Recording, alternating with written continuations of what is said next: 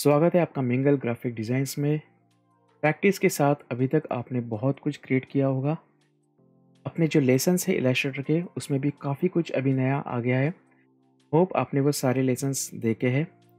Latest जो मैंने दिखाया था, वो था बिलियर्ड्स बॉल उसके बाद आज फिर हम कुछ नया क्रिएट करने वाले बहुत ही सिंपल होगा, लेकिन उसमें कुछ ऑप्शंस है, कुछ टेक्निक्स है, वो मैं आपको दिखाना चाहता हूँ।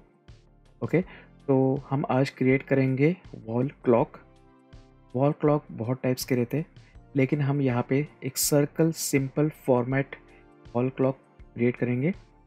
तो वॉल क्लॉक क्रिएट करने के लिए हमें किसी रेफरेंस की यहाँ पे ज़रूरत नहीं है। हम ऐसे ही इसे बना देंगे बहुत ही सिंपल स्टेप्स के साथ। तो हमें यहाँ पे लगेगा एक ब्लैंक लेयर जो ऑलरेडी अपने पास रेडी है।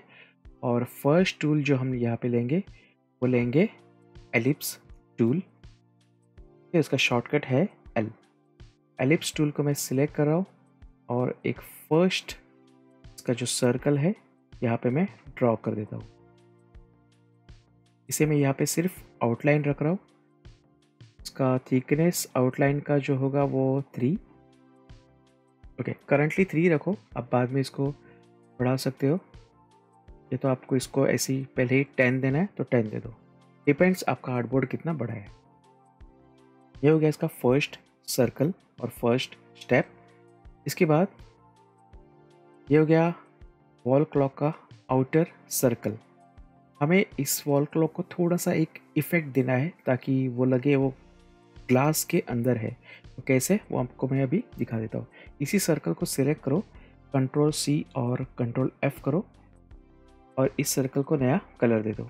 यहाँ पे अभी आपके पास दो सर्कल्स है ओके जो आपने कॉपी करके कंट्रोल एफ़ किया था, ये वो ग्रीन सर्कल है। अभी इसे मैं ऑल्ट प्रेस करके शिफ्ट होल्ड रख के यहाँ पे ऐसे ड्रैग करता हूँ। तो ड्रैग करने के बाद मैं शिफ्ट को होल्ड रखूँगा। और इन दोनों ग्रीन सर्कल्स को मैं ग्रुप कर रहा हूँ और थोड़ा सा इसे छोटा कर देता हूँ। ऐसे कुछ। यहाँ पे देखो, मैं जूम में आपको दिखा देता हूँ, मैं एग्जैक्टली exactly कर क्या रहा हूँ। इसका थिकनेस जो है करंटली थोड़ा सा कम कर देता हूँ। यहाँ पे मुझे गैप पता चलेगा। मैं अनग्रुप कर रहा हूँ इसे और इसे थोड़ा सा शिफ्ट पकड़ के ऐसे लेके जाता हूँ। आई थिंक ये परफेक्ट है। तो कुछ इतने गैप में मैंने सर्कल्स क्रिएट किए वो क्यों क्रिएट किए? वो यहाँ पे देख लो अभी। इन दोनों सर्कल्स को, जो ग्रीन सर्कल्स है, और पाथ फाइंडर में जाके यहाँ पे डिवाइड जो है, वो मैं क्लिक कर रहा हूँ। फिर राइट क्लिक और ungroup control shift G ungroup करने के बाद यहाँ के जो सर्कल्स है, वो मैं डिलीट कर रहा हूँ। अभी मेरे पास इतना ही पार्ट है इसका। थोड़ा सा जूम आउट में देख लो। ये हो गया मेरा इतना पार्ट इसे मैं फ्लिप करूँगा. आई मीन इसका आउटलाइन जो है वो फिल में कन्वर्ट करूँगा यहाँ से और इसे मैं दे दूँगा एक ब्लैक कलर या फिर एक लाइट ग्रे कलर तो ये एक थ्री इफ़ेक्ट हो गया मेरा. इसे हम बाद में देख लेते ये कैसे दिखेगा. पहले हम पूरा वॉल क्लॉक क्रिएट करते तो उसका इफ़ेक्ट जो है वो आपको पता चलेगा कि वो मैंने क्यों किया है. फिर इसके बाद हम क्रिएट करेंगे, इसके जो लाइंस रहते हैं मतलब मिनट्स के जो डैश रहते हैं छोटे छोटे 60 मिनट्स 60 डैश लाइन या स्ट्रेट लाइन जैसा भी है, वो हम अभी क्रिएट करेंगे। नेक्स्ट टूल अपना है, वो है line segment tool line segment tool ऐसे मैं ड्रॉ कर रहा हूँ यहाँ पे, और इसे कोई कलर फ़िलहाल नहीं है, इसे मैं एक कलर दे देता हूँ ब्लैक आर कलर और करंटली इसका मैं जो विथ है थिकनेस लाइन का वो थ्री रख रहा हूँ। और इस ब्लैक कलर को भी मैं इतना ब्लैक नहीं रखूँगा। स्वाचेस में जाके कुछ शेड्स है, थोड़े से हल्के। जैसे कि ये, इसे मैं सिलेक्ट करता हूँ और यहाँ पे रख देता हूँ, ताकि वो बहुत ज़्यादा शार्प ना लगे। ओके तो अभी हमें क्या करना है? अभी हमें ऐसे 60 लाइंस क्रिएट करने हैं। लाइंस पहले चाहिए तो आप थोड़ा सा डिसाइड करो कितने हाइट का चाहिए, थोड़ा सा छोटा चाहिए तो छोटा रख दो। सिक्सटी लाइन्स ऐसे क्रिएट करने के लिए हमें एक एडिशनल सर्कल लगेगा। कॉपी करो इस सर्कल को, ये जो बिग सर्कल है, और कंट्रोल सी और कंट्रोल एफ़, और इसको ऑल्ट एंड शिफ्ट पकड़ के थोड़ा सा ऐसा बड़ा रखो। इसका एक अलग कलर दे दो। पॉइंट साइज़ आप कितना भी रखो इसका कोई दिक्कत नहीं है, क्योंकि ये सिर्फ़ एक सपोर्ट के लिए मैंने क्रिएट किया है ये सर्कल अभी इस सर्कल को लेके और इस डैश को लेके हम ग्रुप करेंगे। मैंने इसे ग्रुप किया है। ग्रुप करने के बाद यहाँ पे जो रोटेट टूल है टूल बॉक्स में, इसे डबल क्लिक करो और 360 डिवाइड बाय यहाँ पे मैं कर रहा हूँ 60 ये देखो ओके तो 60 डैश लाइन चाहिए। 360 अपना जो पूरा सर्कल रहता है, उसको हम 60 के साथ डिवाइड करेंगे और मुझे क्लिक करना है कॉपी पे। ओके पे क्लिक मत करो कॉपी पे हम क्लिक करेंगे। कॉपी अभी हम कीबोर्ड पे कंट्रोल प्रेस करके रखेंगे और सिर्फ़ डी को जो है, वो हम प्रेस करते जाएँगे। आप प्रेस भी करके रखोगे तो कुछ ऐसे आएगा। लेकिन याद रखना, हमें 60 से ज़्यादा नहीं चाहिए एग्जैक्टली exactly 60 चाहिए। तो अभी आप इसे अगर काउंट भी करोगे तो ये एग्जैक्ट 60 डैश लाइन्स यहाँ पे आ गए। अभी पिंक सर्कल जो है, उसकी हमें कोई ज़रूरत नहीं है। डायरेक्ट सिलेक्शन टूल ले लो तो ऐसे ड्रैग करो और दो बार डिलीट प्रेस करो। डिलीट एंड डिलीट ओके तो डैश लाइन यहाँ पे अपने हो गए। इसे हम सिलेक्ट करके, इसे ग्रुप करके रखते सेम फिल एंड स्ट्रोक एक ग्रुप इसका बना दो। करंटली ताकि इसको अगर आपको कलर भी करना है तो आप इजीली कर सकते हो। तो अपना नेक्स्ट स्टेप है नंबर्स नंबर्स के लिए सबसे पहले आप यहाँ पे एक नंबर टाइप करो। तो यहाँ पे टाइप कर रहा हूँ ट्वेल्व और इसका जो फॉन्ट है, वो मैं रख रहा हूँ फोर्टी एट या सिक्सटी सिक्सटी रखता हूँ। डिपेंड्स अपना ब्लॉक इतना बड़ा है, इसके हिसाब से आप अपना फॉन्ट साइज़ रख दो।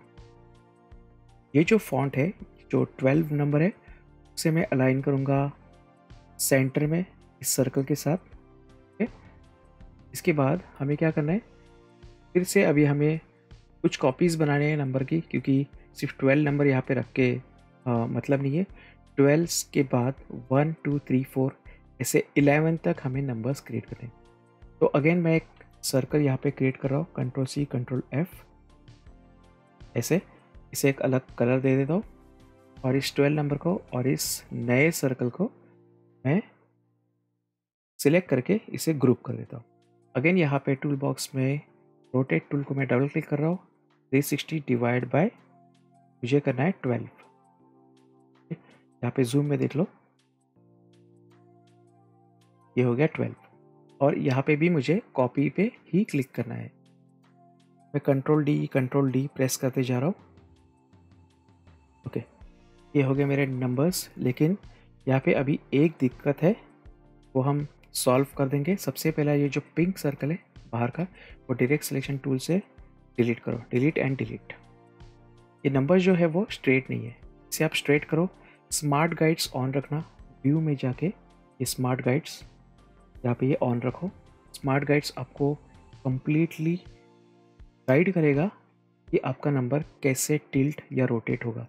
मैं अभी कोई बटन प्रेस नहीं कर रहा हूँ। मैं सिंपली माउस से इसे ऐसे ड्रैग करता हूँ। तो ये देखो, स्मार्ट गाइड्स मुझे गाइड कर रहा है। जो पिंक कलर के लाइन से मुझे गाइड कर रहा है कि आपका जो बॉक्स है, जो बाउंडिंग बॉक्स उस टेक्स्ट का, वो परफेक्टली अलाइन हुआ है कि नहीं, स्ट्रेट हुआ है कि नहीं। ऐसे ही करके मैं सारे बॉक्सेस को ऐसे स्ट्रेट कर दूँगा, ओके? वन बाय वन सारे नंबर्स को क्विकली यहाँ पे कर देंगे। कोई नंबर कम्प्लीटली अगर 90 डिग्री रोटेशन में है, आप शिफ्ट प्रेस करो तो वो क्विकली ऐसे रोटेट हो जाएगा ओके अगर 90 डिग्री कोई है तो ही। अभी ये 90 डिग्री नहीं है तो इसे हम मैन्युअली ऐसा करेंगे। स्मार्ट गाइड्स को ऑन करना भूलना नहीं है, वरना आपका जो रोटेशन है, वो गलत हो सकता है। थोड़ा भी अगर टिल्ट हुआ तो वो एक पर्टिकुलर नंबर या कुछ और नंबर्स बहुत ऑड लगेंगे। सारे नंबर्स हम टिल्ट कर देंगे। ओके तो यहाँ पे अभी अपने सारे नंबर्स आ गए, लेकिन इसे हमें रीनेम करना होगा। इन सबको सबसे पहले मैं सिलेक्ट कर देता हूँ। और यहाँ पे देखो, यहाँ पे अभी एक दिक्कत ये हो गई है कि यहाँ पे जो अलाइनमेंट इसका रखा था, वो था लेफ़्ट अभी हमें करना है उसे मिडल अलाइन मिडल अलाइन करने के बाद शायद थोड़ा सा ऐसा हिल जाए, लेकिन इसमें भी कोई प्रॉब्लम नहीं है। ग्रुप करो और सर्कल के साथ इसे अलाइन कर दो। इसको आपको मैनुअल एडजस्टमेंट अगर कोई करना है तो बाद में कर सकते हो। इसको अनग्रुप रखो या तो ग्रुप रखा तो भी चलेगा। हमें यहाँ पे अभी लेना है टेक्स्ट टूल टेक्स्ट टूल पे मुझे टाइप करके क्या करना है? इन सारे नंबर्स को मुझे मॉडिफाई करना है। तो सिंपली मैं टेक्स्ट टूल उसमें क्लिक कर रहा हूँ और वन फिर इस पर क्लिक कर रहा हूँ टू ये हो गया three four five six seven eight nine ये है टेन और ये लास्ट इलेवन तो अपने सारे नंबर्स भी यहाँ पे आ गए। फिर इसके बाद हम एक थोड़ा सा चेंज करेंगे इन डैश लाइन के साथ। यहाँ पे जो मेन डैश लाइन है फोर डैश लाइन वो कौन से एक ट्वेल्व नंबर का, एक होगा थ्री के लिए, एक सिक्स और एक नाइन के लिए। ये चार डैश लाइन हम थोड़ा सा अलग रखेंगे। तो डायरेक्ट सिलेक्शन टूल ले लो, इसे सिलेक्ट करो और शिफ्ट होल्ड रख के इसको थोड़ा सा ऐसा बढ़ा कर दो। या तो फिर अगर ऐसा नहीं भी करना है तो आपको सिंपली क्या करना पड़ेगा? स्ट्रोक में जाके इसका स्ट्रोक का जो साइज़ है, उसे थोड़ा सा बड़ा कर दो। या तो टेन रखो, या तो फिर सेवन रखो।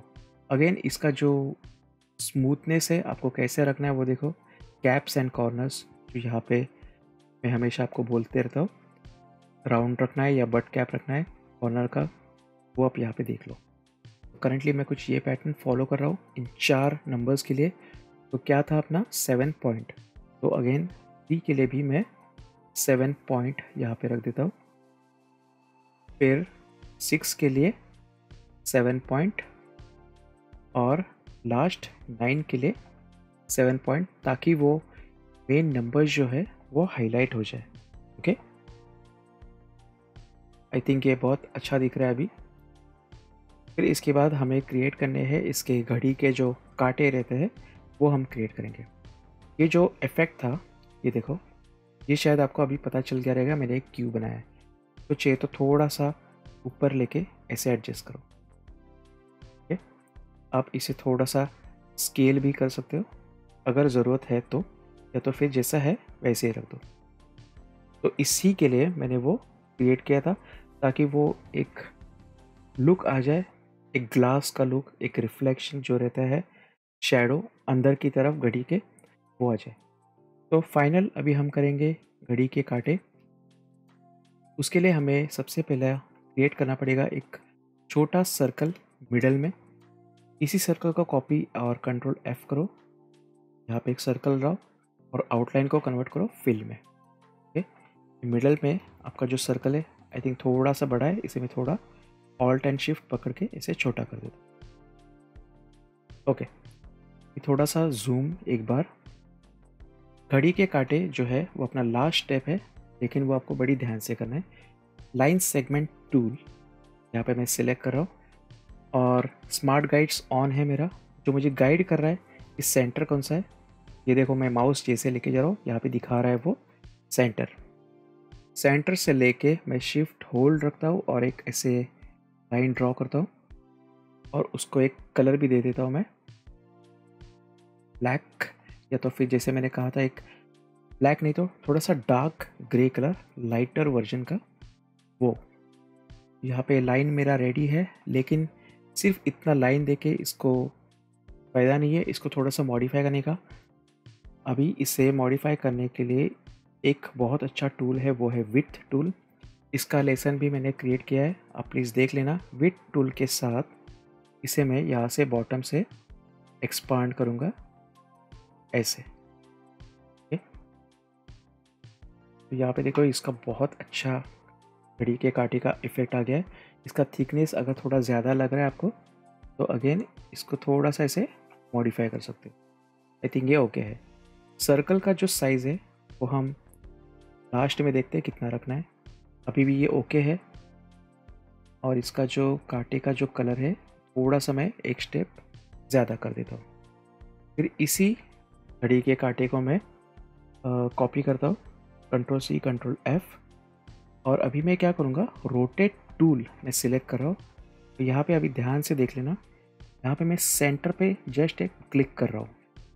क्लिक करने के बाद मुझे और कोई टूल अभी सिलेक्ट करना है। रोटेट टूल ही चाहिए मुझे।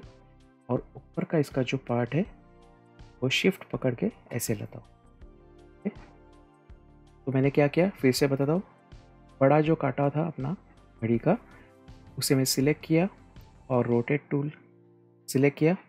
यहाँ पे मैंने एक क्लिक किया और फिर रोटेट टूल से ही मैंने उसे रोटेट किया। तो अब, कब ये बहुत इजी है।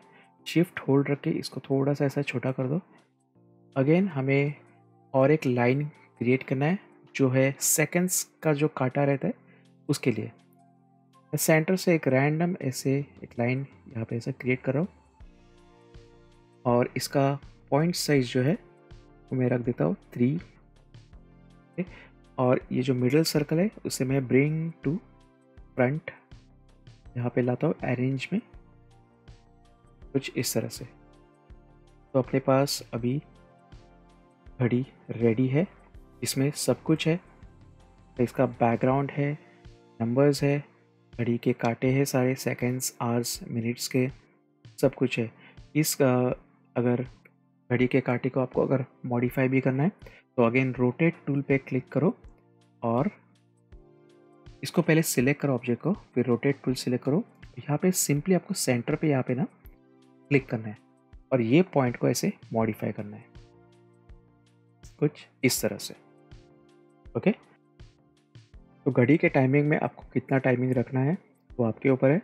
यहाँ पे भी मैं सिंपली ऐसे अगर ड्रैग करूँ तो मैं ये सेकंड्स का काटा भी ऐसे में मूव कर सकता हूँ ओके ये अगर आप मैन्युअली ऐसे मूव करोगे डायरेक्टली तो इसमें क्या होगा कि इसका साइज़ कम या ज़्यादा हो सकता है। इसीलिए मैं आपको बोलता हूँ कि रोटेट टूल यूज़ करो और रोटेट टूल से ऐसे सेंटर में क्लिक करो और उसी रोटेट टूल से आप इसका यहाँ पे ऐसा मूवमेंट दे दो ओके तो परफेक्टली वो रोटेट हो जाएगा। तो ये था अपना आज का वॉल क्लॉक का लेसन एक बार रिकॉल करते हैं इस वॉल क्लॉक को।